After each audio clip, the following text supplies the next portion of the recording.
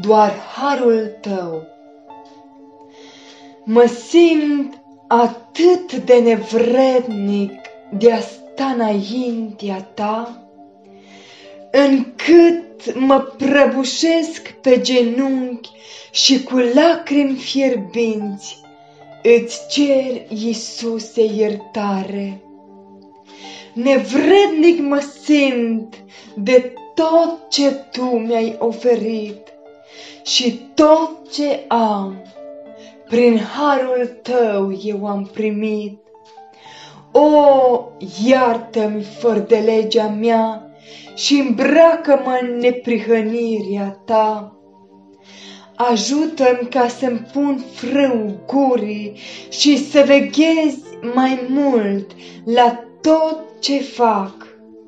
Ca Tu, Iisuse, să te bucuri mult mai mult de mine și voia Ta sfântă să o fac. Ajută-mă să-mi lepăd firia și euul meu să-l răstignesc, ca tu să-ți faci de plin lucrarea și numele prin mine tu să-ți proslăvești. Ajută-mă să mă smeresc ca tu să strălucești prin mine, chiar dacă sunt un om neînsemnat, ajută-mă să fiu un fiu de rege.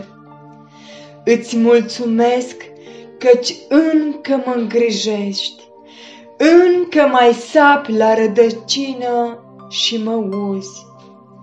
Îmi dai cuvântul tău să mă alimentezi, ca să trăiesc și să nu mă ofilesc. Îți mulțumesc căci încă îți mai pasă de un om netrebnic cum sunt eu. Îți recunosc în toate bunătatea, căci numai harul tău în toate mi-a fost scut. Doar harul tău în slăbiciune m-a ridicat când mi-a fost greu și am simțit că ești cu mine când mâna ta duios m-a prins. Abia atunci am înțeles căci am valoare în ochii tăi, că ai dat tot ca să primesc iertare prin al tău sfânt sânge. O, Dumnezeul nostru, Tată, mulțumesc de Fiul Tău, căci păcatele omenirii le-a plătit cu sânge sfânt și de-ai fi avut mai mult, nimic nu te-ar fi oprit să dai, căci tu doreai să mă răscumperi, oricât te-ar fi costat de mult.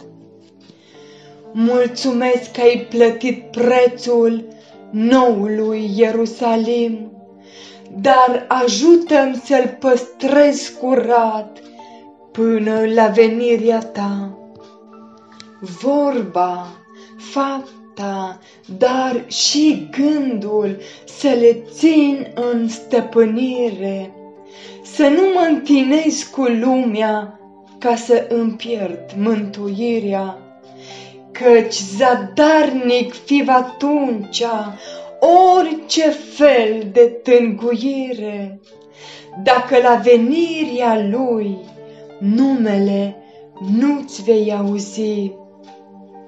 Hai să dăm năvală, frați, la împărăția lui, căci locurile rămase în cer sunt acum mai limitate. Te rog să ne învrednicești, să fim dintre cei aleși, să putem și noi striga, Vino, Doamne, și ne ia. Amin.